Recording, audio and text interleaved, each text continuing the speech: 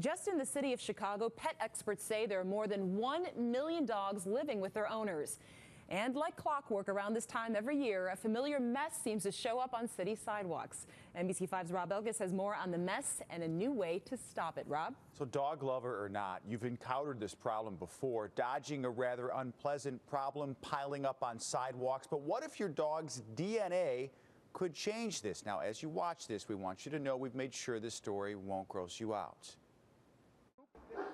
They frolic in the snow as we accept a perplexing rite of passage to spring.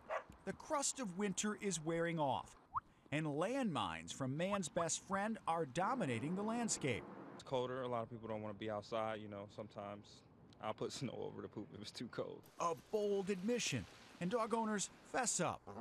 Have you covered your pooch's consequences?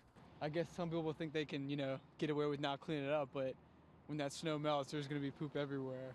But maybe there's a solution. What if for every mutt mess left behind, there was a way to find the tail wagging menace who did it? We rarely have reoffenders. Mike Stone runs the aptly named company PooPrints. We have over 900 managed communities now in just over two years. And five already in the Chicago area. It's a simple system. The company teams up with condo communities, swabs the inside of your dog's cheek, and registers them in a DNA database. Then, after a doggy mess discovery, there's a collection of the sample, and science solves the rest. Well, actually, the maintenance guys usually would do that because the maintenance guys usually have to pick up the dog waste, so they're, they're glad to find out who the perpetrators are. Several luxury condo buildings downtown and a 600 unit condo complex in Glendale Heights already use PooPrints. Jordan Keller's Luxury Condo Association has her dog Finley registered in the program.